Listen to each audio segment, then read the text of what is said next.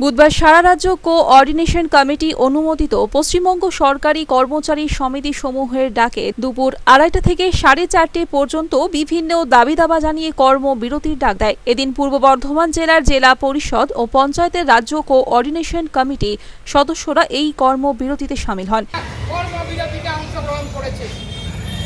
আমরা আশা রাখছি আজকে সমস্ত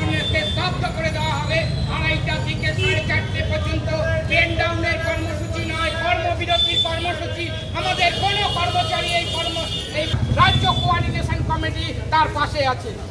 যে দাবিগুলো করা হয়েছে, এই দাবিগুলো শুধুমাত্র কর্মচারীদের আপামর জনসাধারণের দাবি, শিক্ষান্তে কাজের দাবি, প্রশাসনে, রাজ্য প্রশাসনে ছ লক্ষ শূন্য পদ আছে, সে কিছু কন্ট্রাকচুয়াল এদিন সংগঠনের সদস্যরা জেলা পরিষদের সামনে বিক্ষোভ দেখান।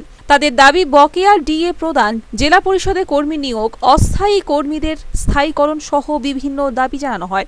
সারা পশ্চিমবঙ্গব্যাপী তার সঙ্গে বর্ধমান জেলা সহ আমরা পঞ্চায়েত যৌথ কমিটির কেন্দ্রীয় সিদ্ধান্ত অনুযায়ী আমরা আজকে দু ঘণ্টা কর্মবিরতির করার চেষ্টা করব। সেটা হচ্ছে দুটো তিরিশ থেকে চারটে তিরিশ পর্যন্ত।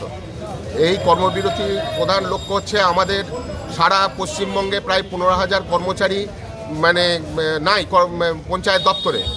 আর তার মধ্যে বর্ধমান জেলা পরিষদে প্রায় একশোর উপর কর্মচারী নাই। সেখানে মাত্র চল্লিশ জন কর্মচারীকে নিয়ে কাজ চলছে। এর ফলে আমাদের যে সব কর্মচারী কাজ করছেন, তাদের উপরে কাজের প্রচণ্ড চাপ সৃষ্টি হচ্ছে। সেই চাপের ফলে আমাদের কর্মচারীরা অসুস্থ হচ্ছেন। পঞ্চায়েত কর্মচারীরা আত্মহত্যা করছেন এবং একশো দিনের কাজের ব্যাপারে যেসব ত্রুটি আছে সেই ত্রুটিগুলোকে অমান্য মানে উম, উম, করার জন্য আমাদের নিম্ন নিম্ন স্তরের কর্মচারীদের ওপরে আমাদের এর আক্রমণ নামিয়ে আনা হচ্ছে।